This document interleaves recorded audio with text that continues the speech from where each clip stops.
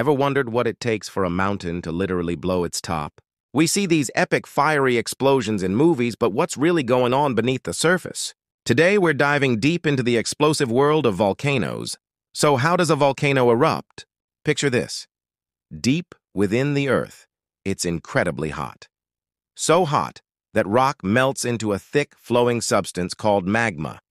Now, this magma is less dense than the solid rock around it, so it starts to rise kind of like a hot air balloon. As it gets closer to the surface, it collects in a big underground pool called a magma chamber. But here's the kicker. This magma isn't just molten rock, it's also full of dissolved gases, like water vapor and carbon dioxide. Think of it like a bottle of soda.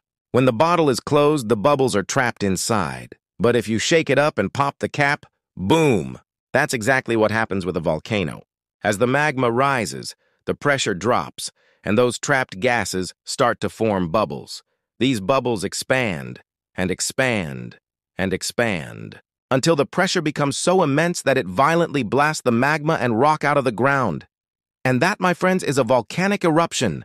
From gentle lava flows to catastrophic explosions that can shoot ash miles into the sky. Now for a bit of volcanic trivia. Which country do you think is the world's volcanic hotspot? If you guessed Indonesia, you'd be close, but the champion is actually the United States. That's right.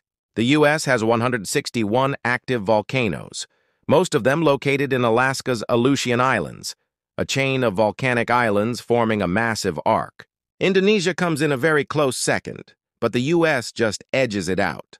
But what about the biggest volcano? We're not talking about the tallest, but the largest in terms of sheer volume and area. For that, we have to look to the stars. Well, almost. It's Mauna Loa in Hawaii. This absolute giant rises more than 13,000 feet above sea level. But here's the mind-blowing part.